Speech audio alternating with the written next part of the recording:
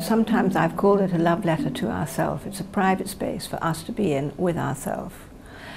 And um, my experience is, though here particularly we have absolutely wonderful speakers, clear as you could possibly hope for. However, my experience is that words don't do it, no matter how wise they are.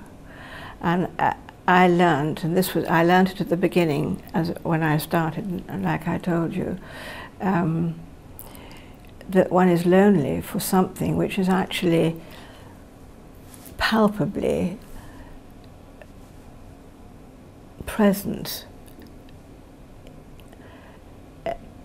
It, and by touching the being, if you like, of you here, the being, which is a, a, universal quality, it's the life of all of us, living all of us, gets transmitted somehow in a palpable sense. And slowly we realize, wow,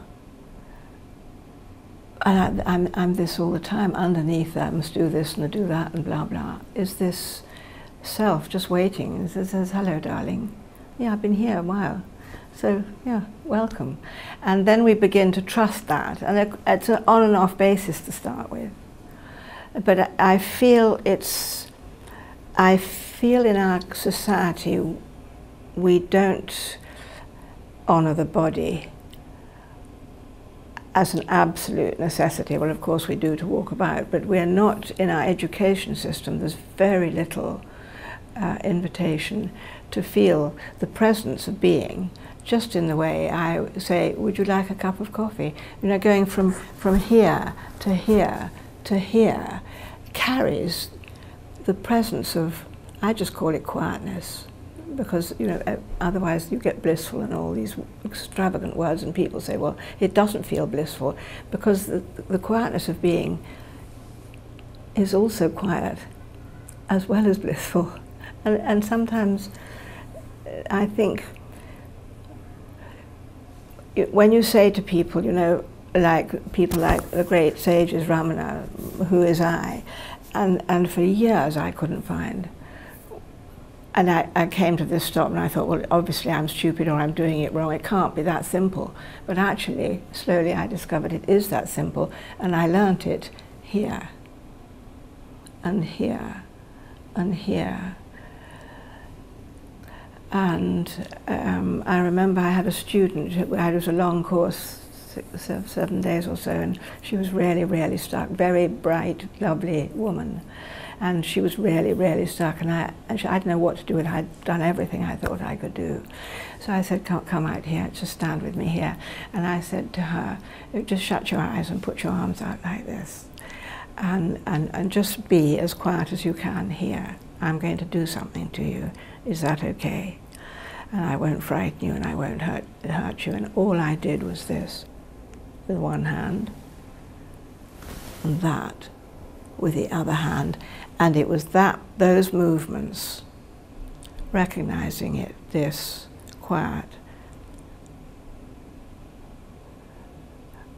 Well, it's like a shine, but I'm nervous of the word because it's a very quiet shine of being.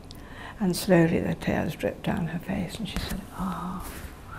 So she'd learned it through her body. And everything changed then, just from those simple, simple movements. So I, I, in my middle age, moved into my body really properly for the first time in my life, which is pretty shocking.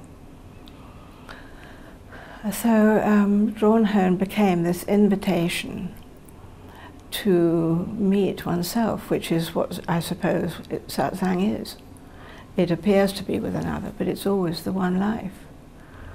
And so that's mirrored from you to me until I realize, oh, wow, it's here too, it's here always. I'm here always. And um, the body melts then a bit, you know, slowly we, we, we, the body becomes less defined, and the smartness and the way we do everything, it, it all becomes softer and more spacious. And uh, slowly one begins to see that this field of perception, one's body, uh, moves within myself, within my field, which is endless, um, literally endless. And so a different play of life offers itself. And then the whole edifice of trying and striving and fear of not being okay just kind of dissolves. And it's very interesting because um, I had a group of new people and old people, and the, the, new people asked the old people in a little circle we had, so why do you all keep coming back? And out of a group of about 10 old people, three of them, in their own words, all said, oh, that's funny, I don't know why I keep coming back. It's because I meet something that I can't live without. And that comes off touching the paper with our hands and our instruments. I mean, how simple is that? so that what happens between, you know, here we talk about this hand and the paper, but actually when, when you just touch here, here, if this is the paper, we just touch here. There's no hand and there's no paper, there's just this. And then people begin to realize there's only this ever. And it's truly what we can't live without. We can't live without um, we don't live without it because it's always there, but we can't, we, we, we, we want to live with, with, with, with this palpable, juicy, loving, tender experience of life meeting itself as everything else. So the concepts then sort of fall away and people feel, oh, wow,